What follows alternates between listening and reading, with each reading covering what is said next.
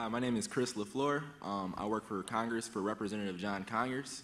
A couple days ago, I read about you talking about uh, artificial intelligence and the dangers of it, uh, and how, as a uh, as a businessman, you are totally against regulation and stuff like that. But as a you know a human being, you think it's critical that we get ahead of this issue. Yeah. Uh, can you please elaborate on um, like why?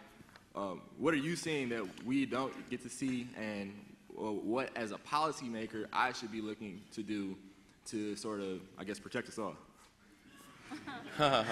Sure. well, um, I think it, it, it is difficult to appreciate just how far um, artificial intelligence has advanced and how far it is advancing. Um, because we have a double exponential at work. Uh, we have an exponential increase in hardware capability, um, and we have an exponential increase um, in software talent that is going into AI. Um, so whenever you have a double exponential, it's very difficult to predict. Um, people's predictions are almost always going to be too conservative in terms of thinking it'll be further out than it is. Um, you know, you start to see things like, um, I don't know if you've seen like the, the videos where you can, can sort of really quite accurately video simulate uh, someone um, and put words in their mouth that they never spoke. Um, you just Google this, it's really pretty amazing. Um, and then they, they had something called a generative adversarial network, uh, had, had two of them um, compete with one another to make the most convincing video. So one would generate the video, and then the other one would identify where it, it, it looked fake, and, and then that, that would, the other one would fix that, and then and it'd go back and forth to the point where you couldn't tell which one was the real, real video, which one was the fake one. Um, and, um, you know, obviously there have been some very public things like the defeat of AlphaGo, or defeat of Go by AlphaGo, the world's best Go champion. People thought defeating Go was either never or 20 years away. That was the world's best Go player was defeated. Um, and now that same AlphaGo system can defeat the top 50 players simultaneously with 0% of chance of them winning. Yep. And that's one year later. Um, so the degrees of freedom to which artificial intelligence is able to apply itself are uh, in, uh, really increasing, I think, by 10 orders of magnitude a year. Re that's really crazy.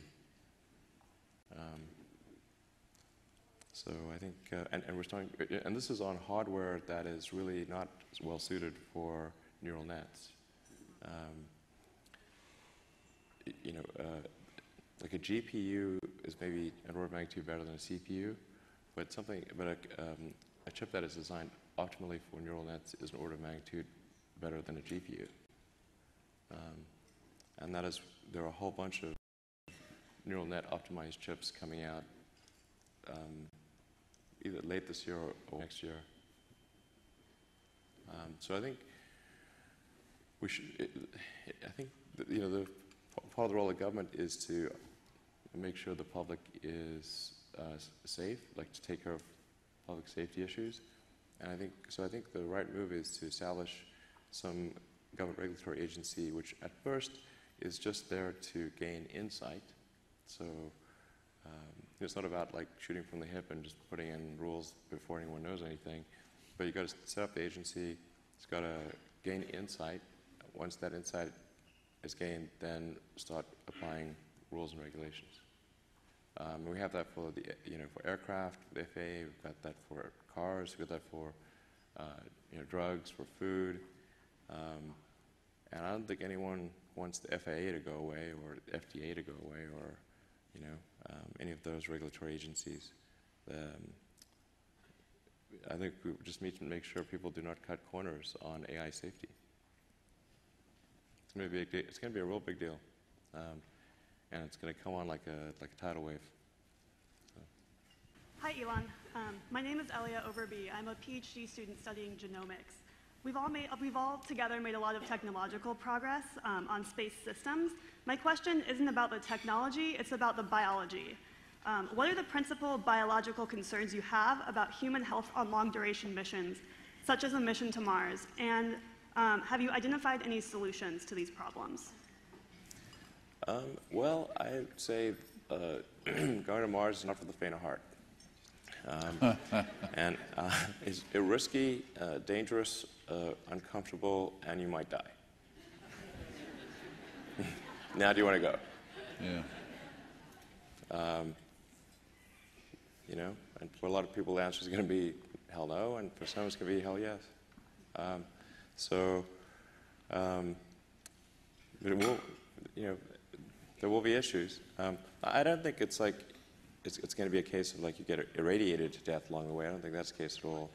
Um, you, know, the, the radiation levels sort of roughly, you know, i- i- in a worst case scenario, really kind of about equivalent to smoking on the way there.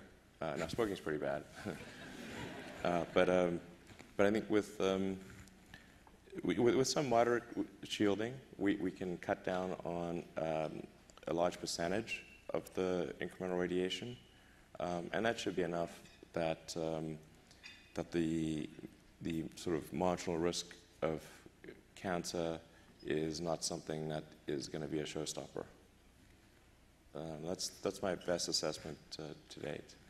Um, certainly learning a lot about solar winds and um, you know, fast particles and whatnot. Um, and uh, you know, one of the things that I learned recently that I wasn't didn't, didn't quite understand is that the I always thought of the particles from the sun, the sort of solar wind, as going kind of straight up from the sun, but they they follow the magnetic field lines. Um, so you you actually can get the particles coming at you from the side, even though you know kind of at a direction orthogonal to the sun. Um, so you do need some some amount of uh, pr- protection, um, at least on uh, yeah on, on, on kind of four four or five sides. Um, anyway, but I don't think it's it's, it's not a showstopper, but it's um, it's, it's definitely you know if if safety is your top goal, I wouldn't go to Mars. You know, there's a, there's a bunch of work going on ISS right now to understand the risk to the humans for long duration. Yeah. Certainly, within, we're in the Van Allen belt, so the radiation environment's different. Yeah. But, uh, and all part of it is understanding what happens to the humans the longer you stay. So, Sure. so far, we've had humans stay a little bit longer than a year, and that's it. So, Yeah. in the history of the species, they've, we've had someone off the planet for a little more than a year, and we're talking three years to go to Mars. Well, you know, I think you can get the Perhaps, perhaps shorter, but it's in the years, uh, it's, uh, you know, it's, so, it- there, there- there's months. potential for, for things out there that we haven't found yet. Yeah. And, uh, so we'll, we'll learn more as we go along. Hopefully learn more before ISS is done. Yeah, it's, it's interesting that actually the, you know, you know, Mars is only in the same um, sort of rough quadrant of the of, of Earth, six, roughly six months every two years. Um, by same, I mean sort of trans, slightly offset because it's like a transfer quadrant. But um, but if you can get the ship to and from Mars in, inside that six-month window, then you get to reuse it twice as often. So there's actually a lot of merit to being able to get to Mars uh, in under three months. If you can get there quick and back, of course, it makes a bigger, a bigger uh, vehicle and, and resupply. So anyway, we'll, interesting problem that we'll, uh, I'm sure we'll work on here Yeah. as we go forward. A lot, lot, of, lot of Earth orbit refueling, or re- Yeah. it's not really, mostly oxygen, but it's um, propellant reload. There's no good for, word for propellant for fuel plus oxygen. Uh, prop, I guess. Prop, prop load. We'll have to, we'll have to invent a new word, right? That's, Yeah. that's it. Hello, I'm Anna Sophia Boguraev, and I have kind of a follow up on the biology question from before. It is one thing to say, obviously, it's not going to be a safe experience to go to Mars, but there are some technologies essential, especially if we're looking to putting humans there permanently, um, that are going to be have that are going to have to be developed with biological capabilities. Speaking of like flight suits, habitats, um, eventual artificial biospheres for people to live in. Do you see your company playing a part in the development of those technologies? Do you see biology having a place in SpaceX's work, or will that be outsourced to other unrelated companies? And before you answer, you should know that Anna Sophia over here won uh, a Genes in Space competition and flew on a SpaceX Dragon. Anna Sophia was at, uh, was that SpaceX uh, 10? When was that? Eight. SpaceX 8. So um, As a, yes.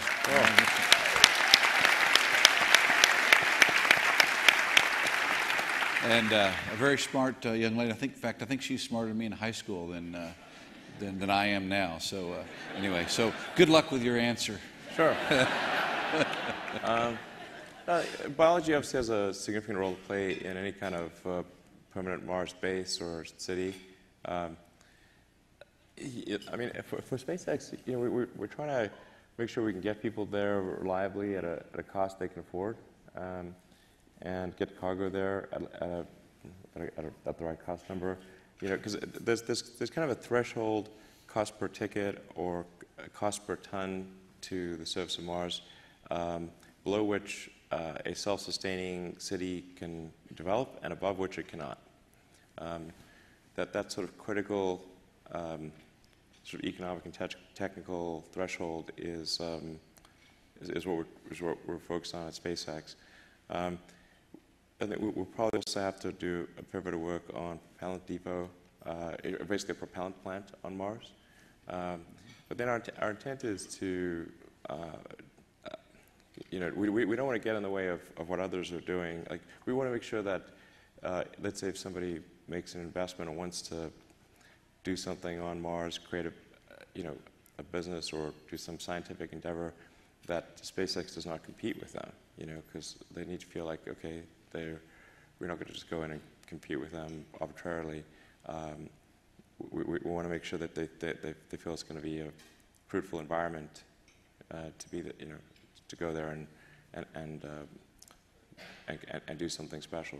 Um, so our focus is going to be on transport, kind of fundamental utilities, survivability, um, and, and you know we'll and we'll do more if we need to do more. Uh, but um, but we want to make sure that, that lots of people can go and do all sorts of things on Mars or the Moon, um, and not feel like SpaceX is going to do anything but try to help them.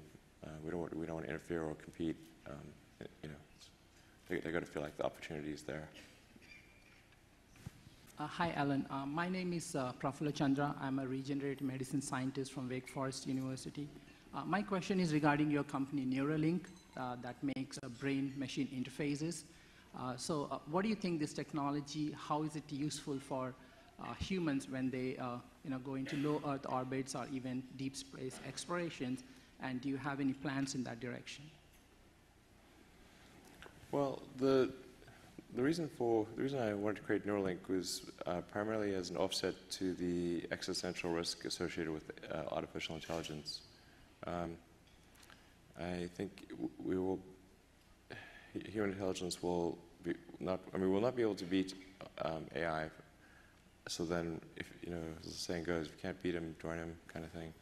Um, so I think having some, some basically finding a way to to, to link. Um, you know, uh, human will en masse to the outcome of, of AI. Um, having AI be an extension of individual human will, that's really the point of Neuralink.